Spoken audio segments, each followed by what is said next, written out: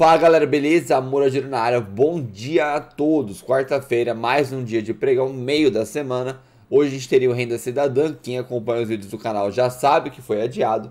E aí você já deixa o seu like, já se inscreve, já ativa o sininho, já comenta, compartilha, já me segue nas redes sociais, entra no Telegram para não perder nenhum vídeo, porque no YouTube não notifica tudo. E me, é, botão seja membro tá embaixo para vocês, caso vocês tenham interesse de prestigiar o canal e ganhar alguns benefícios, né? Bora ver o que está acontecendo nessa manhã de quarta-feira. Olha lá, shoppings conseguem recuperar 6 mil lojas fechadas na pandemia. Grandes grupos dizem que juro baixo incentiva a busca de investidor por franquia. Então isso aqui pode ser uma alta para a maioria das ações aí que envolvem shopping, lojas de shopping, etc. Tá bom? Não vou entrar no detalhe aqui da notícia, tá? Mas é muito legal.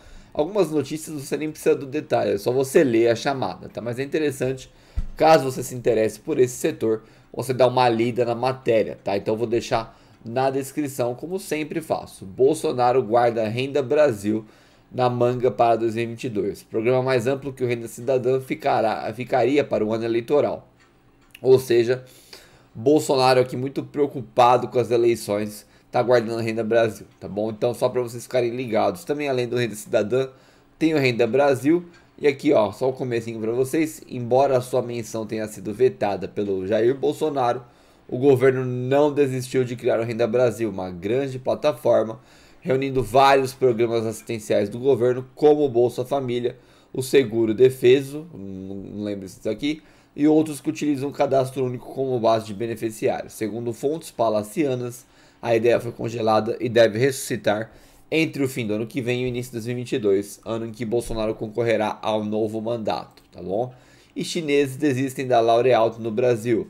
Hope Education, de Hong Kong, adquiriu unidade do grupo na Malásia há cerca de 10 dias. Tá? L'Oréal, que ela está sendo é, competida pela Anima, né, Ser Educacional e Edux, tá? Cogna já ficou de fora, parece. Então, só para vocês saberem quem está em Cogna e gosta de setor educacional, tá aí. E aí, o que me mandaram ontem à noite, olha lá, JHSF, vendas disparam 192% no terceiro trimestre, tá bom? As vendas contratadas da JHSF dispararam 192%, como vocês viram. É, no total, as vendas totalizaram 414 milhões, ante 141,5 milhões do ano passado. Então, é, mais ou menos ali quase três vezes, tá bom? Muito legal. Isso aqui foi publicado 7 da noite ontem, 6 do 10. Então eu esperaria uma alta aí na JHSF hoje. Vamos ver o que, que vai acontecer. Quem está posicionado, maravilha. Quem não tá, cuidado para não comprar topo, tá? Tio Peter aqui tá avisando. Tio não, pai Peter. Tá, e aí vamos para a parte mais legal aqui, os aluguéis. Olha lá. Oi ficou na mesma, né, galera? Leve alteração nos aluguéis, mas já era esperado que não tivesse muita movimentação, por causa que o preço ficou bem, bem descansado, só deu uma quedinha de leve, tá? Então, é, volume 132 milhões, quantidade de contratos 77, né? Mudou só 500, 500 mil contratos. Preço médio caiu um centavo, ainda está positivo os vendidos, tá? E a gente segue observando isso daqui. A taxa do tomador está mais cara agora, tá? Em breve posso fazer um vídeo explicando isso daqui também, tá? Uh, o IBR4 também, ó, 9 é, milhões, 941 mil volume financeiro, 4 milhões de contratos, tudo estacionado. Parece que até repetiu o dia, né? Olha lá como tá parecido. Só a taxa do tomador que aumentou um pouquinho. IRB, galera, olha lá o que aconteceu com os aluguéis da IRB. Vamos bater um papo sobre esses aluguéis aqui. 886 de volume, diminuiu o volume financeiro, diminuiu o contrato, fechamento diminuiu muito, taxa do tomador aumentou e o preço médio tá a mesma coisa. Por quê?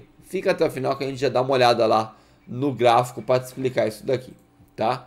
Via varejo tá deixando os vendidos com dor de cabeça aqui, ó, já tá quanto aqui uns 40 é, 36 centavos mais ou menos de é, negativo eles, né? 30 não, né? 46. Volume e quantidade de contratos deu uma diminuída, vamos ver para onde vai vir varejo, parece que está começando a subir de verdade agora, tá? JHSF, preço médio 729, 727 de fechamento, leve diminuição nos aluguéis, hoje também deve ter uma altinha aqui nesses aluguéis da, da JHSF, tá bom? E para acabar, a Cogna está bem positivo os vendidos, então eu espero a qualquer momento uma realização dos vendidos aqui, gerando compra no ativo, tá? Então bora voltar para E RBR3, vamos ver aqui no nosso bom diazão. Deixa eu trazer meus gráficos para aqui, para frente, porque às vezes ele vai para outra tela aqui, que eu tenho duas telas. E a gente vai falar um pouquinho de é, IRB, não HGTX, tá? Pera aí, olha lá. Ei, chatinho, né? Vem aqui comigo então, ó. IRB, cadê minha IRB, querida IRB? Uh, olha lá, por que que diminuiu é, o, o preço, a cotação e não teve muita diferença nos contratos, tá? Eu vou até abrir o point of fix aqui para vocês, para a gente terminar esse assunto de uma vez por todas. Olha lá. Olha o que aconteceu. Caiu, descansou. Caiu, descansou. Caiu, descansou bastante, né? Realização. Caiu mais, ou compra, né? Então o que acontece aqui? Se a gente está percebendo que os aluguéis não mudaram tanto e ele teve essa queda tão expressiva, o que, qual que é a única explicação que pode justificar isso daqui? No mercado financeiro você tem que especular esse tipo de informação. É difícil você afirmar que algo aconteceu, tá bom? Então assim, a gente tem os aluguéis que não se mexeram, a gente teve uma cotação aqui que se a gente parar para olhar lá de novo, caiu 1,50 praticamente, R$ 1,50, tá 1,48. E o preço médio dos vendidos está a mesma coisa, os contratos são parecidos. Então isso daqui só pode ser o quê? Compradores, né, realizando a compra. Então isso daqui foi uma realização de compra absurdo, muito provavelmente institucionais por causa do anúncio da UBS, tá? E aí a gente aqui, óbvio, obviamente no meio teve algumas vendas e compras de vendidos, etc. Mas não foi o suficiente para mexer os aluguéis. Então assim, não é que os vendidos bateram no papel, é que os compradores realizaram um papel de uma forma mais forte, tá bom? E aí gerou esse rally de baixo. É claro que aqui no meio você pode ter vendido que realizou uma, a posição e gerou compra, e você pode ter vendido novo entrando, por isso que os aluguéis eles ficaram na mesma, tá bom? Então nada mais é do que isso, galera. Aí ontem a RB fechou aqui no 7,3, deve bater 6,93. Hoje a gente segue observando até onde vai corrigir esse papel, uma correção um pouquinho mais agressiva, tá bom? Então vídeo de bom dia é esse, um bom dia novamente para você que assistiu tudo. Para você que não assistiu tudo, mas está aqui, bom dia também. Já deixa o like, já se inscreve, ativa o sininho, comenta, compartilha, me segue nas redes sociais, entra no Telegram. Botão seja membro, invista com consciência, tenha amor ao dinheiro.